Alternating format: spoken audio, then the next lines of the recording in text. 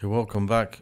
Um, this is Mr. Hassaan's Maths channel, and this is now question 6, part B from the um, June 2010 Edexcel C4 paper. Um, and this question here is about integration. And we have already in part A had f of theta, which was this expression here, and we had to show that f of theta equals a half plus 7 over 2 7 over 2 cosine 2 theta, and now we are asked to integrate, find the exact value of the integral between 0 and pi over 2 of theta times f theta. So we already know what f theta is, we already showed that in part A. So now what we have to do is integrate between the limits of 0 and pi over 2 theta times f of theta. So theta times a half plus 7 over 2 cosine 2 theta with respect to theta. So I have to integrate this expression. Now, here what we can see is I have um, a product of two separate functions. So I can use integration by parts um, to try to integrate this. But it's a bit messy the way this looks here. Um, so what I'm going to do is I'm going to split it up into two separate integrals. And then I'm going to deal with that one separately by itself just so it doesn't look so messy. So what I'm going to do is I'll expand the bracket first. So I'll have theta over 2. I'll have theta and pi over 2 I'll have theta over 2 plus 7 over 2 theta, um, sorry, 7 over 2 cosine 2 theta. 7 theta over 2 cosine 2 theta, sorry. Okay, so that I'm going to integrate with respect to theta. So I've just expanded this bracket.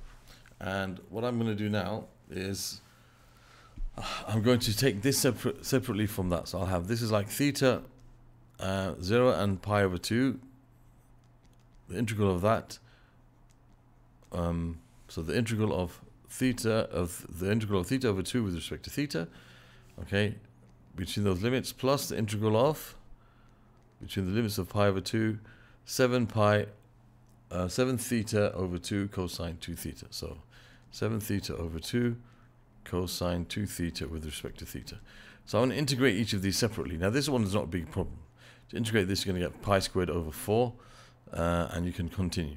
But what I'm going to do is I'm going to take this one and integrate this one separately. So I'll take this one first and integrate this. Um, I'll, I'll leave the limits, I'll put the limits at the end. So I'll just take this I'll say 0, pi over 2. I'll leave the 7 over 2 on the outside. And I've got theta times cosine of 2 theta with respect to theta. So I'm going to I'm going to concentrate on this part of it. Okay, I'm just going to focus on this part of it. And then I'm going to deal with the rest of it. All right, so now, as I said, this is now a product of two separate functions, which I can use integration by parts for. So I'm going to call one of them, one of those products u, and the other one I have to call it dv d theta in this case. We have theta as a variable here. So the u is going to be the one that breaks down easier to something simpler when you differentiate it, and of that, of course, is theta. When I differentiate this with respect to theta, I get 1. And the integral is the one that doesn't become simpler when you um, differentiate it. So I'm going to take cosine 2 theta and I need to, for this one I need to integrate it to give me, um, you know, uh, the, the value of v. Now when you integrate cosine of something, you get sine of something because the differential of sine of function gives you cosine of that same thing. So the, the, the integral is the reverse. So this is going to give me sine of 2 theta, but there's a function inside the function so I have to divide it by 2. So this is like a half sine 2 theta. Okay, that's when you uh, integrate this. Now, I'm going to use the, the, the, integration by parts. Okay, so the integral of theta cosine 2 theta with respect to theta, 7 over 2. Okay, I'm going to forget the limits for now. I'll deal with the limits afterwards. Okay, that's going to give me now, to integrate this, you're going to do u times v which is this times that. This, this formula is actually in your formula sheet. There's theta over 2 times sine of 2 theta minus the integral of these two multiplied. So it's got a half times, so I'll write the half outside, sine of 2 theta with respect to theta. Now that's going to give me theta over 2 times sine 2 theta. Now when I integrate sine of something, I get negative cosine of the same thing. So I've got minus a half times negative cosine 2 theta, but I have to also multiply this by, or divide this by, by 2, so it's minus a half cosine 2 theta. Um, I'm not going to write the plus c because I've got a definite integral in the end, so I'll just leave it like that for now.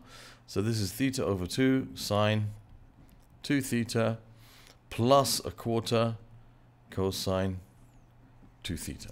All right, so that's the integral of this part of it. Okay, and then the integral of this part of it. Okay, if I'll take uh, theta over uh, theta over 2 with respect to theta, theta over 2, integrate that with respect to theta, okay, which is this part of it, that's going to give me theta squared over 4. Theta squared over 4. So now let me put them together. So I can say that this together, me just write it down. So I have the integral between pi over 2 and 0 of theta over 2 with respect to theta plus the integral between 0 and pi over 2 of um, 7 over 2 times. I'll leave the 7 over 2 out from here as well. Okay put it in the end now. 7 over 2 times um, theta cosine theta 2 theta theta cosine 2 theta d theta is going to be the same as this is going to become. I'll just put it under one uh, one bracket now. It's the same as um, this is going to be theta squared over 4 plus and I'll have 7 over 2 times the integral of all of this which was theta over 2 sine 2 theta plus a quarter cosine 2 theta all of that between the limits of pi over 2 here and 0 so that's the whole thing integrated now with respect to theta. Now I have to find the value of this by putting pi over 2 into this. Okay, so I've got everything that I need, I think. Yep, so let me just put pi over 2 here. So here I'm going to have pi over 2 all squared divided by 4 plus 7 over 2 times. I'm going to have pi over 2 divided by 2, which is pi over 4 times the sine of 2 theta. So 2 times pi over 2 is going to give me pi. Plus a quarter cosine 2 times pi over 2 again is pi. Then I've got to take away the integral when I put this in here, that will be 0. And I'll have plus 7 over 2 times, that's going to give me 0, because 0 times 0 times anything is 0, plus a quarter cosine 2, cosine 0. Cosine 0 is 1 actually cosine 0 is 1. Okay, so now that's going to give me pi squared over 4 squared 16. And here I'm going to have plus 7 over 2 times. Now the sine of pi is 0. And the, the quarter times uh, the cosine of pi is equal to minus 1. So that's minus a quarter. Minus, and this is going to give me um, basically 0 plus 7 over 7 over 7 over 8 cosine of 0 cosine of 0 is minus 1 cosine of 0 is minus 1 right yep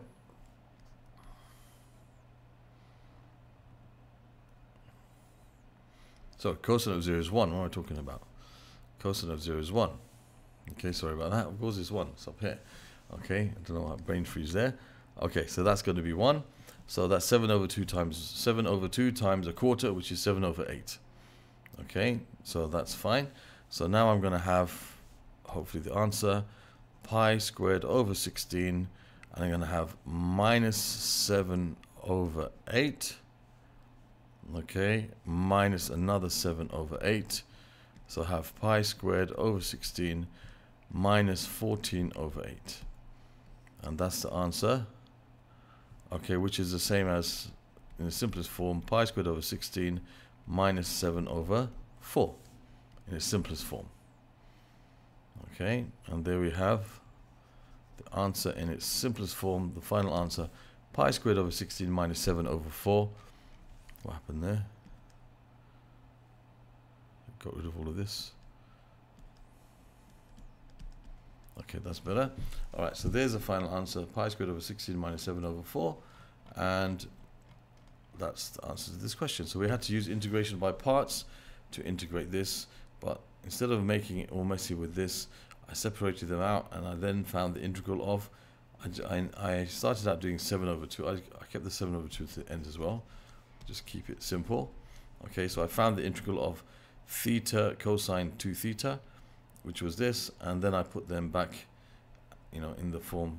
So I've I've got theta over 2 with respect to theta plus 7 over 2 times the answer that I just found there. All of that integrated between 0 and pi over 2, and I get my answer. So I hope that's clear. That's an example of integration by parts.